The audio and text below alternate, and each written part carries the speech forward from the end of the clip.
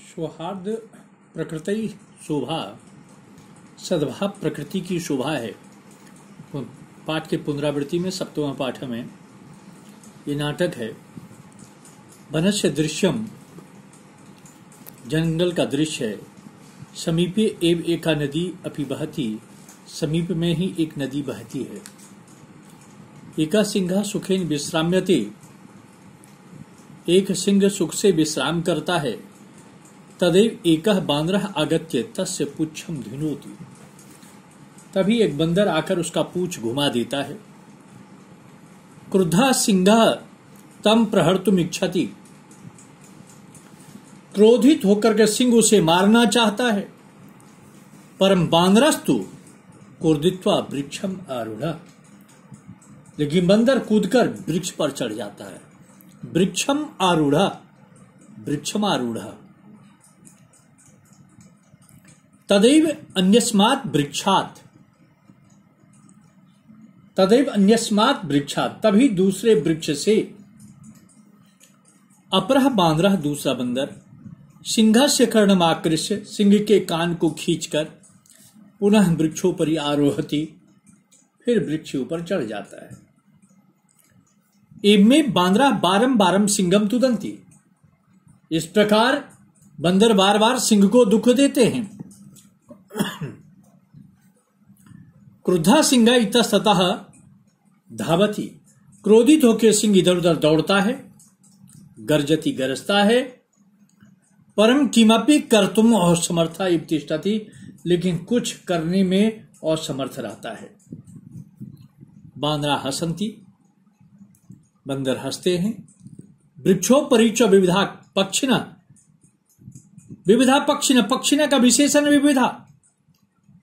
वृक्ष ऊपर विभिन्न पक्षी, अपि भी सिंह से सिंह की एतादृशिम दशाम दृष्टवा इसी दशा को देखकर हस्त्र मिश्रितम कलबम कुरवंती हस्त्र मिश्रितम हँसी से मिले हुए कलरब करते हैं। सिंह की ऐसी दशा को देखकर हँसी से मिले हुए कलरब करते हैं? निद्रा भंगेन निद्रा भंग दुखेन बनराज सन्नपि तुक्ष जीव आत्मन एतादृश्या दुर्वस्था श्रांत सर्वजंतु दृष्टवा पृछति निंद्रा भंग से दुखी बनराज होने पर भी तुक्ष जीवों से अपनी ऐसी दुर्व्यवस्था को देखकर फिर ऐसी बुरी अवस्था को देखकर थका हुआ सिंह सभी प्राणियों को देखकर पूछता है। सभी प्राणियों को देखकर पूछता है, सिंह क्रोधेन गर्जनम, क्रोध के साथ गरजते हुए सक्रोधम वो अहम बन राजा, मैं जंगल का राजा हूँ, किम भयम न जायते, क्या भय नहीं होता? किमर्थम मामेव तुदंती सर्वे मिलित्वा। किस लिए? सब मिलकर मुझे दुख देते हो। एक का बांद्रा एक बंदर। यतः तुम बनराजा है भय तुम तू सर्वथा अयोग्य। क्योंकि तुम बनराज बनने के लिए हमेशा अयोग्य हो। राजा तू रक्षक भवती। राजा तो रक्षक होता है, परम भगवान तू भक्षका। लेकिन आप तो भक्षक है। राजा तो रक्षक होता है, लेकिन आप तो भक्षक है। अभी चौर भी। स्वरक्षायाम अपनी समर्था नासी। अपनी रक्षा करने में भी समर्थ नहीं हो। तरी कथम असमान रक्षित कैसे हम लोगों की रक्षा करोगे? अन्य पंद्रह किम नो श्रुतम त्वया पंचतंत्रोक्ति। क्या तुमने पंचतंत्र की उक्ति को नहीं सुना? यो न रक्षति, वितस्त्रान पीडियमान अपर सदा, जंतून पार्थिव रक्रे निशाकृतांतो न संशय। जो विशेष रूप से डरे हुए की, और दूसरों की तरह सताए हुए की, सदैव रक्षा नहीं कर सकता, वह जीव के रूप में जमराज होता है, इसमें कोई संदेह नहीं है। काका कौआ आम सत्यम कथितम तोया फिर द्वारा ठीक कहा गया, वस्तुतः बनराजा भवितुम तो अहमी भी योग्य। वास्तव में बनराज बनने के योग्य तो मैं ही हूँ। पिका उपहसन, उपहास करते हुए, कथम तुम योग्य बनराज भवितुम? कैसे तुम योग्य हो बनराज बनने के?